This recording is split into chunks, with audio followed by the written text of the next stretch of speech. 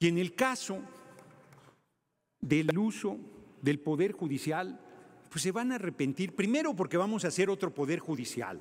No, no en un golpismo. Hay que convocar a un poder constituyente, hacer una profunda reforma de la Constitución de 1917, que fue una reforma a la, Constitución de 1857, y hay que hacer otro poder judicial. Si el pueblo puede elegir al presidente, que es la máxima responsabilidad pública del país, ¿cómo no va a poder elegir a un juez? Quiero manifestar nuestro apoyo decidido a la Suprema Corte de la Nación y a todos y cada uno de los jueces que imparten justicia.